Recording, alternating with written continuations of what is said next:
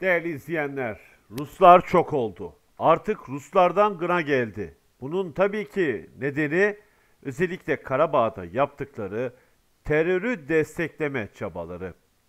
Laçin koridorunu, evet Laçin koridorunu ne yaptık? Kapattık. Güvenlik, evet güvenlik kuşağı oluşturduk. Ama Ruslar resmen terör işliyorlar. İsterseniz Rusların teröristlere nasıl silah taşıdıkları, evet tekrar söylüyorum, Ermeniler Ruslar eşliğinde nasıl teröristçe silah taşıyorlar gelin bir bakalım. Şu anda giden araçları görüyorsunuz. Kendi oluşturdukları güzergahtan, dağ yollarından silahlar taşıyorlar. Ne amaçla, ne ettikleri belli. Rusların yanlarında onları götürmesinin nedeni de belli. Tek bir istekleri var. Amaçları şu. Karabağ'da Türk uyanışı olmasın. Karabağ'da bir Türk duruşu olmasın. Gördüğünüz gibi artık sabrımızı taşıran, artık sabrımızın sonuna gelmemize neden olan gelişmeler. Üzülüyoruz, şaşırıyoruz, gerçekten üzülüyoruz ve bu konuya artık diyoruz ki bir müdahale şart. Bakın silah taşıyorlar. Bunun anlamı şu. Ermenistan barış yapacağım dese de burası Paşinyan'ı dinlemeyecek. Paşinyan'ı tanımayacak. Gördüğünüz gibi hiçbir şekilde böyle bir niyetleri de yok aslında.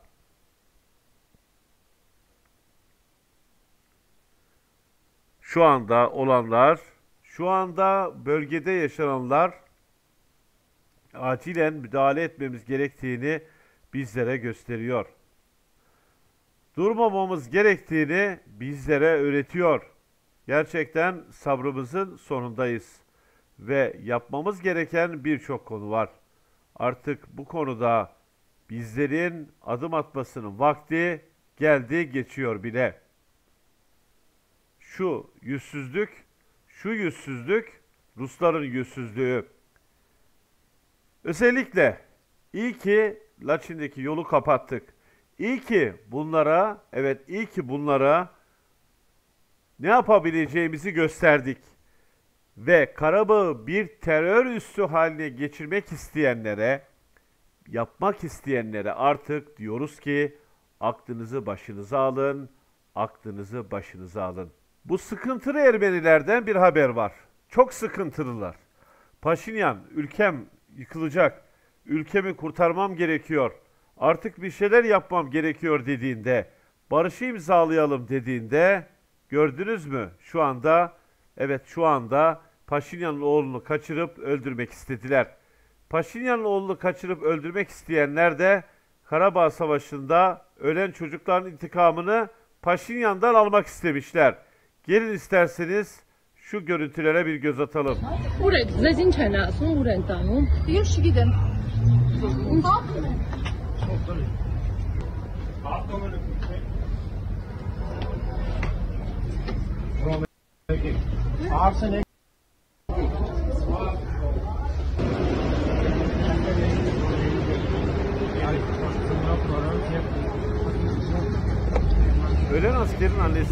tutuklandı. Başın yanına olmaz. Sen benim oğlumu, senin baban benim oğlumu ikincisi olarak savaşa götürüp öldürdü.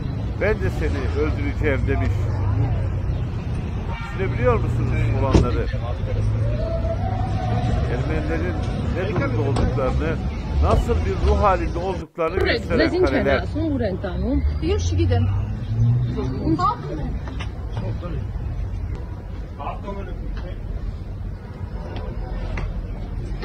Promeki. Arseneki.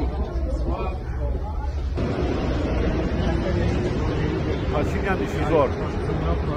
Paşinyan işi zor gerçekten. Barış imzalayacağım dedi. Oğlunu birileri kaçırdı. Gümrüğe götürecekler.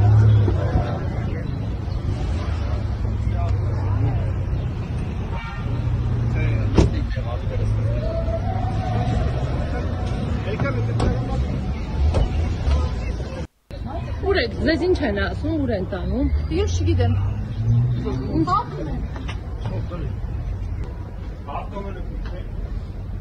Geçen gün yaptığımız operasyonda Ermenilerin yaşadıkları travma ve gücümüzü sınamalarının kendilerine nasıl mal olacağı ortadayken bir taraftan da Ermenistan'ın barış çağrılarından sonra Paşinyan'ın oğlunu öldürmeye çalışmak Paşinyan'a en tepeden mesaj vermektir. Bu barış anlaşmasını imzalamaya kalkma seni yok ederiz diyorlar.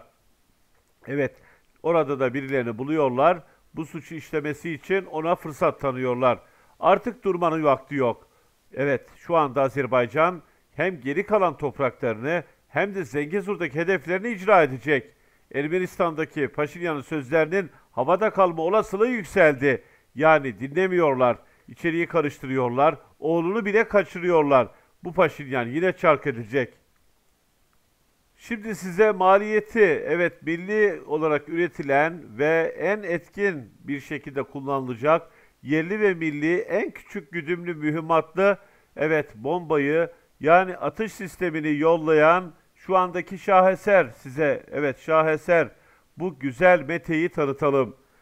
Düşünün savaş meydanlarında füzenin boyutu küçük ama gittiği yerdeki işini görecek ve gerekeni yapacak gibi İsterseniz bu görüntüleri izleyelim. Türk ordusu her gün yeni bir şey tanıtıyor. Evet kardeşimize yaklaşanın nelere mal olacağı, kardeşimize yaklaşanların ne gibi evet olaylarla karşılaşacağı artık çok açık. Yerli ve milli Mete şu anda operasyonlarda ne kadar avantajlı ve ne kadar etkili olacak göreceksiniz. Evet durmak yok, durmayacağız. Özellikle gücümüzü hepsine göstereceğiz. Şu anda baktığımızda en küçük tapa var ki evet şu anda atış sisteminde çok küçük bir füze gibi diyebiliriz. Seyir füzesi e, ebatında, ebatında diyorum havasında en küçük uçuş motoruna sahip, en küçük kontrol tahrik sistemi, en küçük lazer arayıcı başlık. Gördüğünüz gibi burada Azerbaycan'ımızın yanında olan Türkiye'mizin ardı ardına geliştirdiği silahlar ve bu üstün mukavemet gücümüz inanılmaz ve bir o kadar güzel sonuçlar alıyoruz ve bu sonuçlarla tabii ki önemli evet bir geleceğe doğru yelken açabiliriz. Evet, şunu söylemek istiyorum. Artık Azerbaycan yalnız değildir. Azerbaycan'ın Karabağ'daki topraklarında Ruslar silah taşıyorlar ve Ermenilerin orada Azerbaycan'a karşı bir savaş oluşturma, bir kalkışma yapmasına fırsat vermek için orada devamlı Ermeni'yi silahlandırıyorlar. Rus'un niyeti kötü. Ukrayna'da bir ayağı çukurda ama Rusya hala kuyruk dikmeye devam ediyor. Evet, bir dahaki yayında görüşeceğiz ama özellikle Rusların silah taşımasını dünyaya tekrar deşifre ettik. Bir dahaki yayında yepyeni konu ve gündemlerle karşınızda olacağım.